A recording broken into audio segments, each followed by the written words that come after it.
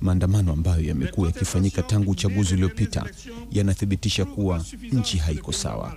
Mali ni nchi kubwa, tajiri na tamaduni zake tofauti, tajiri kwa ardhi yake, utajiri wa watu wake, tajiri wa wanyama na mimea, lakini ambaye uwepo wake kama nchi na taifa unatiishiwa katika misingi yake yote ya uasisi.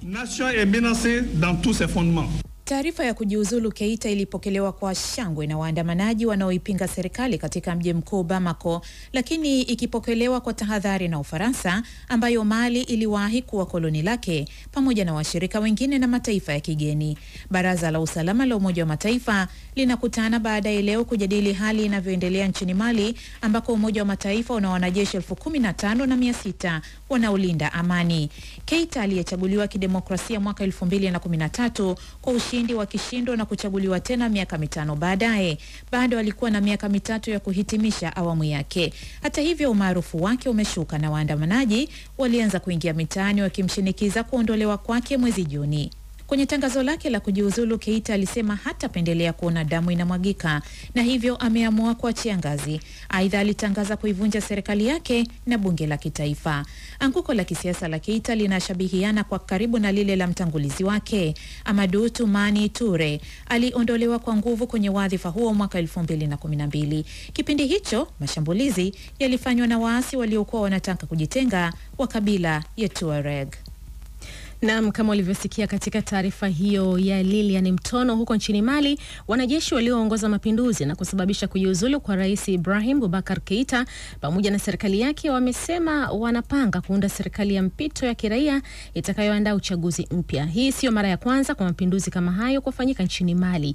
Je, baada ya mapinduzi haya jumuiya ya kimataifa inatakiwa kuchukua hatua gani ili kuhakikisha usalama na utulivu unarejea nchini humo? Hilo ni miongoni mwa maswali niliyomuuliza Cosmas Bahali, mkurugenzi wa taasisi ya masuala ya amani ya kimataifa na mizozo IPCS kutoka nchini Tanzania.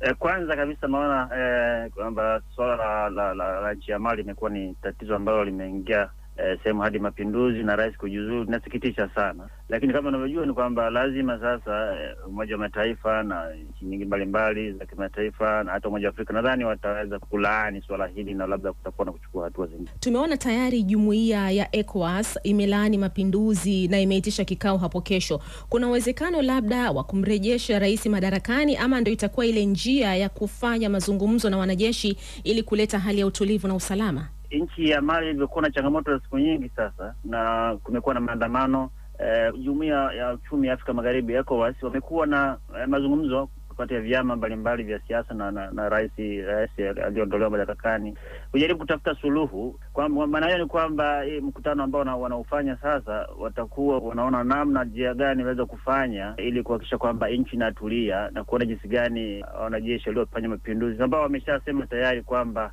wanataka wakisimamisha uh, hali ya, ya kiusalama, lakini pia baadaye wafanye uchaguzi. Unadhani hilo litaweza kufanikiwa? Uh, kwa, kwa kutokana na uh, nchi za Afrika nyingi zimetokea kuwa na watoto kama hayo. Uh, tumeona kwamba uh, kwa mfano ilitokea ku Zimbabwe. Uh, tumeona pia Sudani kwamba kulikuwa na tatizo kama hiyo, lakini mi naamini kwa shawishi mkubwa wa Umoja wa Afrika lakini pia na nchi za Umoja wa Uchumi wa Afrika Magharibi ECOWAS wanaweza kuhakikisha kwamba eh, wanaweza kuongea na hao wanajeshi waliofanya mapinduzi, lakini pia wataweza labda kuona jinsi yani ya kuweza kurudisha utawala wa kiraia. Eh, hii ni mara ya nne eh, kwa mapinduzi kama haya kufanyika nchini Mali, tofauti na nchi nyingine, lakini hakuna umwagikaji damu nchini Mali. Ni mbinu gani hasa wanazotumia hawa wanajeshi tena wa vyeo vya chini e, katika kufanikisha haya mapinduzi? E, Mali na changamoto. Kumbuka kule kaskazini kule kuna vita yao wanajiita wenye magaidi haya, na kwa maana ni kwamba imeifanya nchi iwe na shida, imefanya nchi iwe iweze kuhangaika na kukopa na kuhangaika kulipa madeni mbalimbali, na hata pia umeona hata wanajeshi wanazungumza, wanasema kwamba eh, hata mishahara wameshindikana kulipwa na kadhalika, kwa sababu nadhani changamoto, unaona hata hatari hiyo ambayo wanajeshi wameamua kuichukua. Tangu mapinduzi ya mwisho ya mwaka elfu mbili na kumi na mbili nchini Mali pamekuwa hapana usalama na utulivu, na tumeshuhudia kwamba nchi zenye nguvu duniani na ushawishi mkubwa kama vile Ufaransa zilipeleka wanajeshi wake katika nchi hiyo.